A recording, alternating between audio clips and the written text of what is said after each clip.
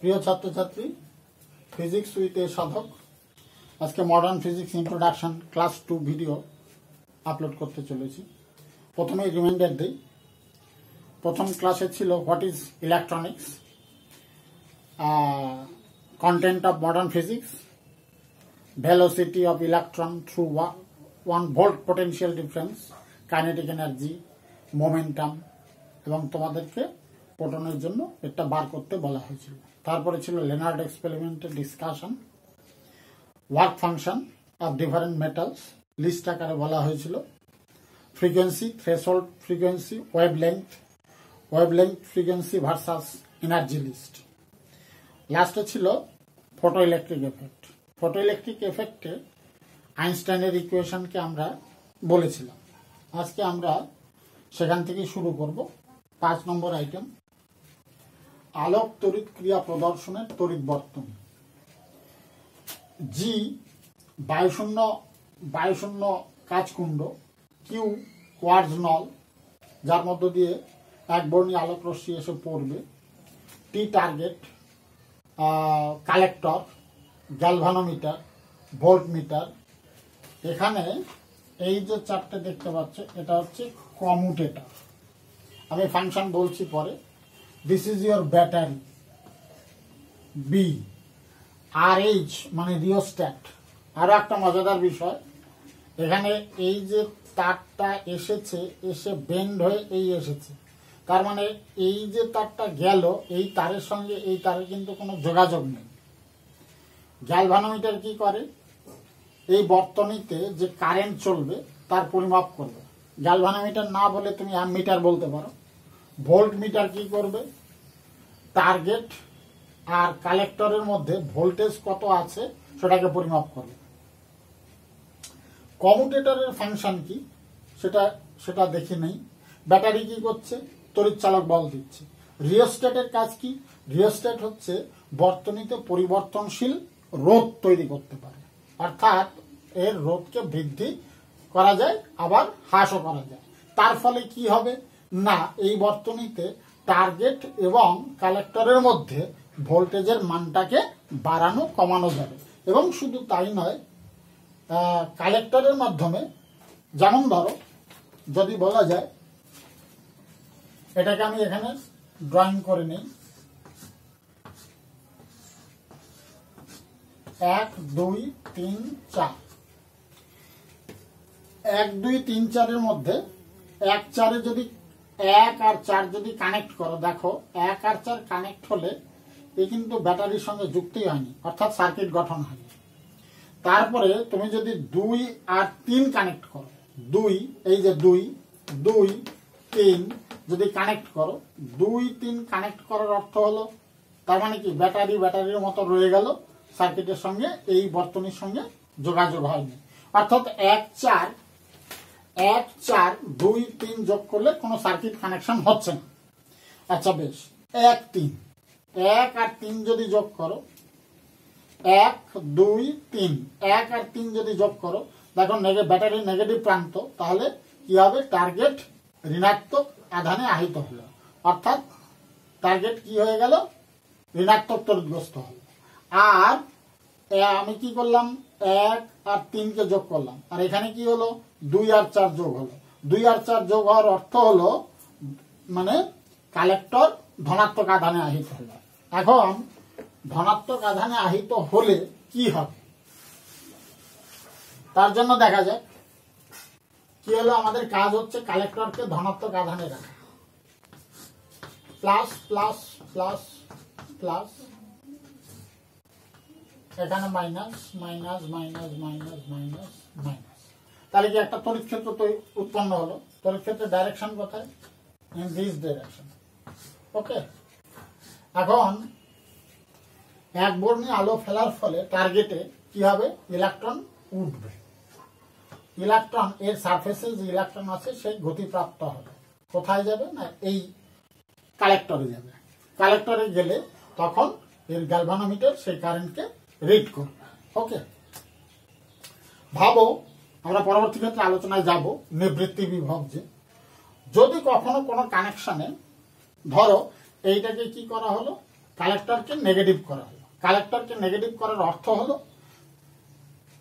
এক, দুই, তিন, চার। এক আর চারকে কানেক্ট করা হলো। আর কি করা হলো? না, এক সরি কি করা হলো বলো? কালেক্টরকে নেগেটিভ তার মানে এক, দুই, তিন। তিন আর চারকে কানেক্ট করা হলো। তার মানে এই যে গেল। তার মানে এ কি হলো? কালেক্টর নেগেটিভ হলো। আর তাহলে কি হলো? এক আর দুইকে। এক আর দুই কানেক্ট করার মানে হলো টার্গেট ধনাত্মক আধানে আহিত হলো। তাহলে আমি আবার আঁকি। এক্ষেত্রে কি হলো? ধনাত্মক আধানে আহিত হলো।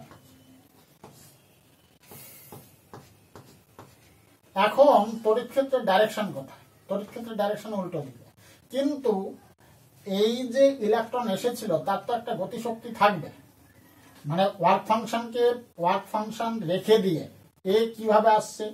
E is equal to H nu is equal to W zero plus কত? হাফ এম ভি ম্যাক্স এর স্কোয়ার ওকে তাহলে হাফ এম ভি ম্যাক্স এর স্কোয়ার নিয়ে যাচ্ছে। কোথায় যাচ্ছে এই দিক বরাবর কিন্তু তড়িৎ ক্ষেত্রের জন্য এ কি করবে? এখানে যে তড়িৎ ক্ষেত্র নতুন ভাবে উপস্থাপিত হলো, ঋণাত্মক আধান দেওয়ার জন্য, তার জন্য এর গতি কোন দিক বরাবর? এই দিক বরাবর। তাহলে কি হবে? কালেক্টরে কারেন্ট যাবে না। যে অবস্থায়, যে ভোল্টেজে, বা কালেক্টরের যে ঋণাত্মক ভোল্টেজে, টার্গেট থেকে উৎপন্ন গতিপ্রাপ্ত ইলেকট্রন কালেক্টরে না পৌঁছাতে পারে, সেই ভোল্টেজকে বলা হচ্ছে কাট অফ পটেনশিয়াল বা নিবৃত্তি বিভব। ওকে এখন,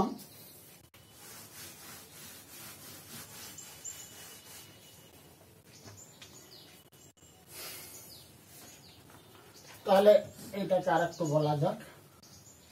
এ কি হলো? ধনাত্মক আধানে। একে কি করা হলো? ঋণাত্মক আধানে। তার মানে এখানে এর যে নেগেটিভ ভোল্টেজের জন্য তড়িৎ ক্ষেত্র কোন দিক বরাবর? এই দিক বরাবর। তাহলে কালেক্টর টার্গেট সাপেক্ষে ঋণাত্মক আধান। যে আধানের জন্য উৎপন্ন, এর থেকে উৎপন্ন electron half M V max এর স্কোয়ার নিয়ে যাচ্ছে। কিন্তু এর থাকার জন্য এর দ্বারা ডাব্লিউ ইজ টু কি? EV half M V square is equal to W is equal to W আর এর ক্ষেত্রে কত? ইভি তাহলে ইভি জিরো মানে স্টপিং পটেনশিয়াল ইলেকট্রন আর এখানে এসে পৌঁছতে পারছে না। তাহলে আমরা ইকুয়েশনটা লিখতে পারি।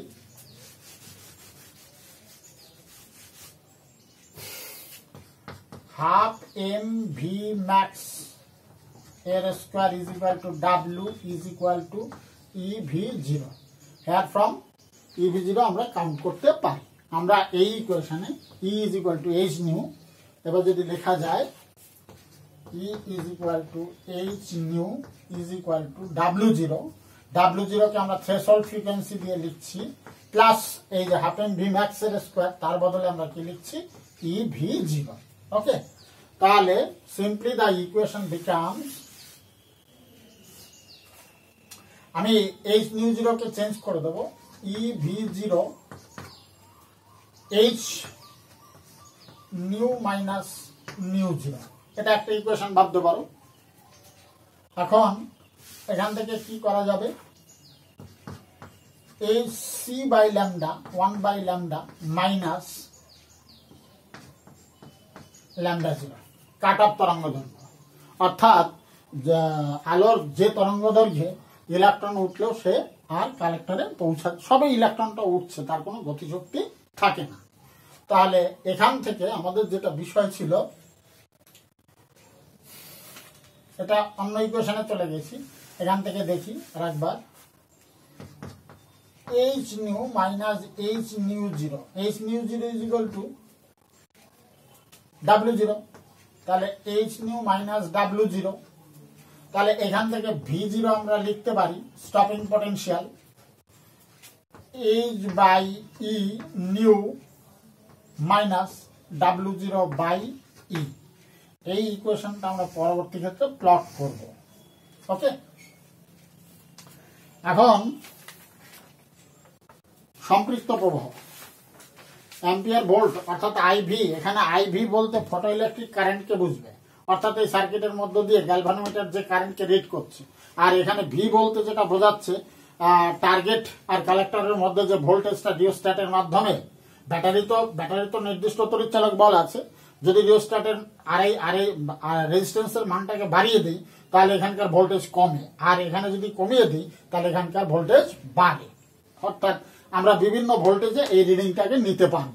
অর্থাৎ কারেন্টের মানটা কত আছে, সেটাকে জানতে পারব। এখানে কি হলো? এখানে বলছে, কি অবস্থায়? অ্যাম্পিয়ার ভোল্ট বৈশিষ্ট্য লেখো। এক্ষেত্রে কনস্ট্যান্ট ভোল্টেজে আছে। কোন অবস্থায়? এইটা, এটা একটা কনস্ট্যান্ট ভোল্টেজ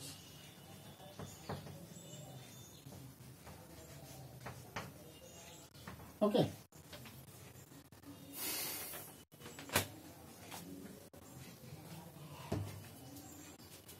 ক্ষেত্রে তীব্রতার মান বেশি। এখন তীব্রতা বলতে তুমি কি বোঝো? তীব্রতাকে আগে পরিষ্কার করা দরকার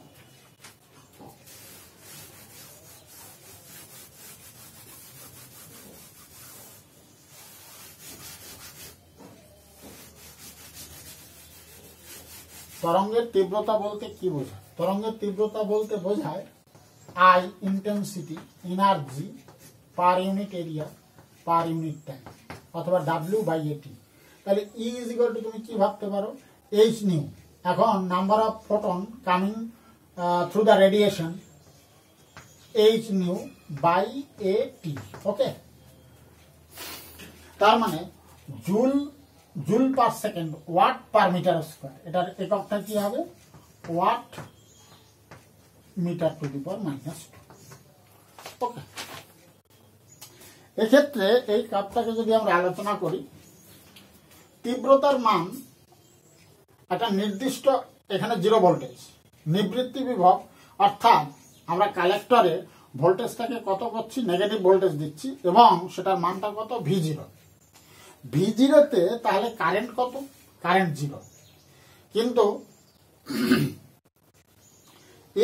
তীব্রতা বেশি হওয়ার জন্য, অর্থাৎ ইনকামিং ইনসিডেন্ট বেশি ইনসিডেন্ট রে বেশি হওয়ার জন্য, অর্থাৎ কালেক্টর থেকে উৎপন্ন কালেক্টর থেকে টার্গেট থেকে উৎপন্ন ইলেকট্রনের পরিমাণ বেশি। এখন একটা কথা হলো, যত বেশি পরিমাণ ইনসিডেন্ট রেডিয়েশন আছে, তত বেশি পরিমাণ কি ইলেকট্রন ইজেক্ট হবে মেটাল প্লেট থেকে। আর তোমরা জানো, এখানে one is to one correspondence অর্থাৎ একটা ফোটন, একটা ইলেকট্রনের সঙ্গে সংঘর্ষ ঘটায়। সেক্ষেত্রে আমরা এখান থেকে সিদ্ধান্ত করতে পারি যে আলোকতরিক প্রবাহ মাত্রা আই টু বা আই ওয়ান এখানে আই টু বেশি, অর্থাৎ এর ক্ষেত্রে, এর বেলাতে টার্গেটে কি হবে? ইনসিডেন্ট রেডিয়েশনের মানটা বেশি। আলোকতরিক প্রবাহ মাত্রা আপ আপতিত, আলোর তীব্রতার উপর সমানুপাতিক। এই সিদ্ধান্ত।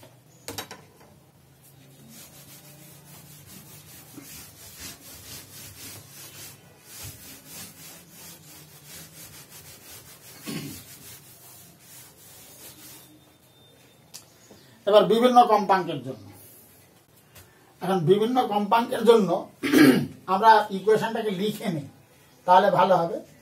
E is equal to H nu is equal to W zero plus half M V ম্যাক্সের স্কোয়ার ডাব্লিউ জিরোকে আমরা কি করব? এইচ নিউ জিরো বলব প্লাস হাফ এম ভি ম্যাক্সের স্কোয়ার তাকে আমরা ইভি জিরো বলছি।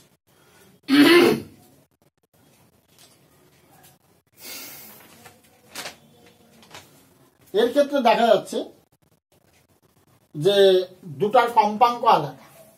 এখন এর যদি কম্পাঙ্ক বেশি হয়, তাহলে এইচ নিউ ওয়ান ধরো nu one minus H nu zero একই মেটাল প্লেটে যদি হয়, তার মানে nu zero is equal to E V zero okay তাহলে নিউ ওয়ানের মানটা এই এই ডিফারেন্সটা যত বেশি হবে ভি জিরোর মানটা তত বেশি হবে ওকে তাহলে বিভিন্ন কম্পাঙ্কের নির্দিষ্ট তীব্রতা, অর্থাৎ আপতিত, নির্দিষ্ট তীব্রতার কথার মানে হলো আপতিত ফোটনের সংখ্যা সমান।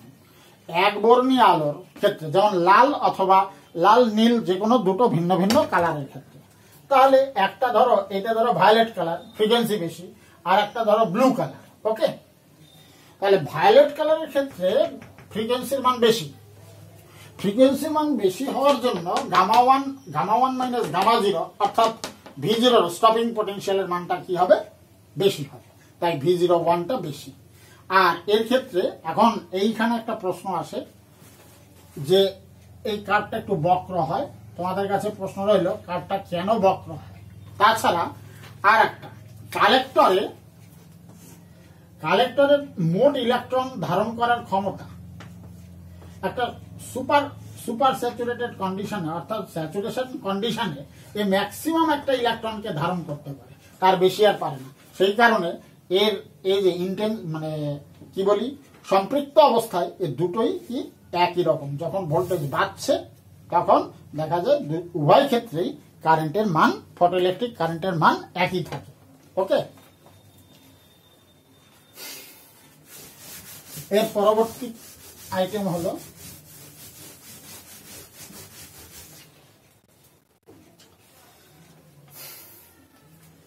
কম্পাঙ্ক নিবৃত্তি বিভবের লেখচিত্র। কম্পাঙ্ক কম্পাঙ্ক nu versus nu versus V zero তাহলে আমরা এতক্ষণ ধরে ইকুয়েশনটা লিখছি। তাহলে H nu is equal to W zero plus E V zero এতক্ষণ ধরে যেটা লেখা হলো। তাহলে আমরা এখান থেকে করতে পারি ইভি জিরো আর ডাব্লিউ জিরোকে আমরা লিখে নেই এইচ নিউ জিরো তাহলে E V zero is equal to কি লিখব? H nu minus H nu zero okay তাহলে V zero is equal to H by E nu minus কত হবে? এটাকে ডাব্লু জিরো বসানো যাক। ডাব্লু জিরো বাই তোমার ই ওকে তাহলে একটা খেয়াল করো, এটাকে ওয়াই ধরো। এম এক্স মাইনাস সি তাহলে এবার আসা যাক। তোমরা জানো Y is equal M X plus C হলে পরে লাইনটাকে এরকম টানো। এমটা কি ট্যানজেন্টটা তাহলে সিটা কোথায়? এইখানে যায়। কিন্তু এখানে কি আছে? এটা নেগেটিভ আছে। তাহলে লাইন এর যে ট্যানজেন্টটা হবে গ্রেডিয়েন্টটা কত হবে? এইচ বাই ই অর্থাৎ লাইনটাকে যদি এই টানো, তাহলে this one is minus that means W zero by E W zero by W zero by এইটুকু। ওকে আর এর ট্যান থিটা কত? কত বলো? এইচ বাই ই এখন এটা সোডিয়ামের ক্ষেত্রে হোক, আর আর এইটা? এটাকে this is nu this is V zero stopping potential okay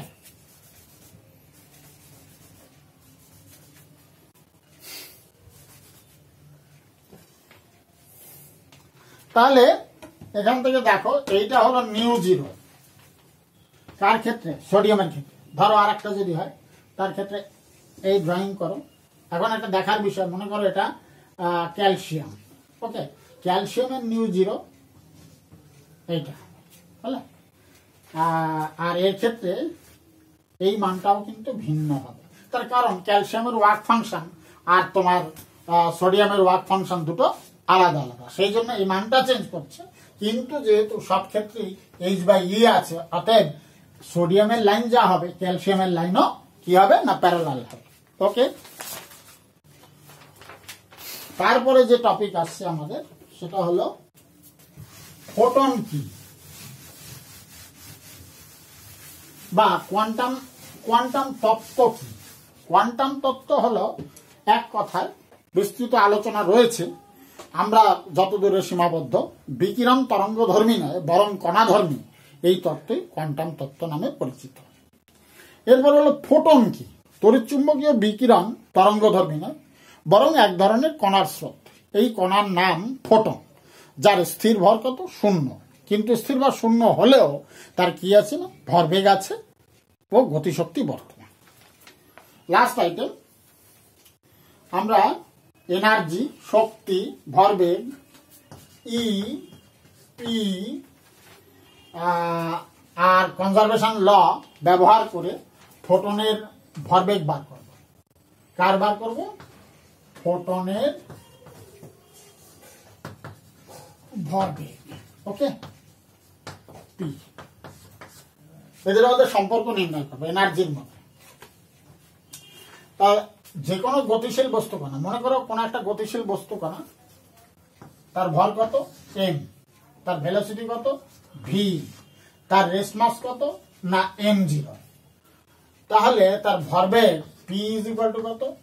M V okay P is equal to M V হলে তাহলে আমরা জানি এটা তার ডাইনামিক মাস রেস মাস হচ্ছে কত? এম জিরো তাহলে আমরা এম এম কে লিখতে পারি এম জিরো বাই আইনস্টাইনের থিওরির থেকে। One minus V square by C square into V. Okay আর একটা কাজ করা যাক। Alpha is equal to one by one minus root over V square minus C square এটা ধরে নেওয়া যাক সুবিধা হবে ক্যালকুলেশন তাহলে P is equal to M zero alpha V okay square করো দুটাকে।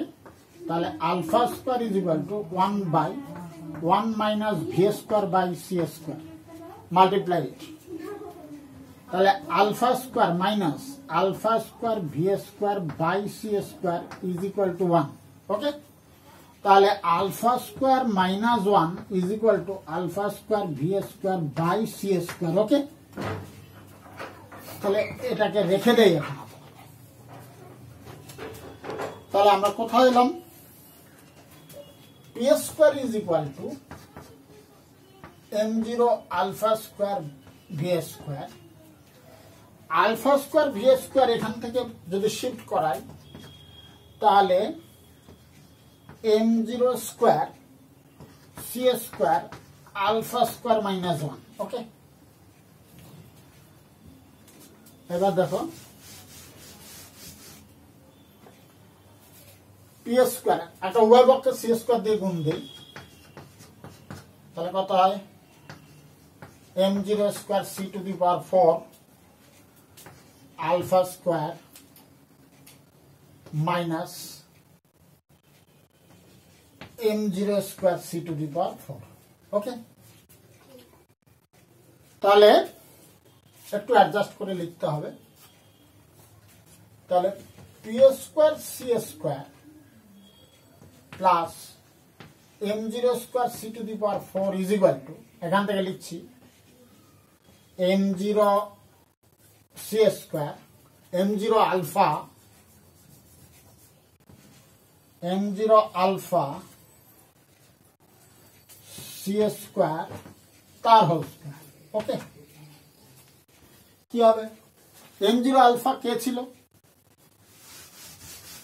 M zero alpha is equal to M C square তার হোল স্কোয়ার ওকে তাহলে M C square is equal to A square তাহলে লিখছি A square is equal to P A square C A square plus M zero square C to the power four so E is equal to root over P A square C A square plus M zero square C to the power four now for photon rest mass is zero okay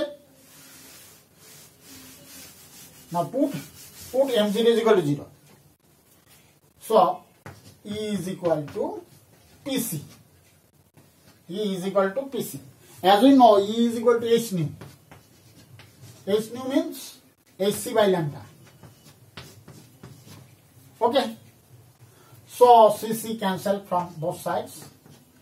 H by lambda. This is your renowned relation. De Broglie-Wave equation. Okay. এখানে পদার্থের পদার্থ তরঙ্গকে বোঝাচ্ছে। ওকে আমরা next ক্লাসে আবার আলোচনা করব। ওকে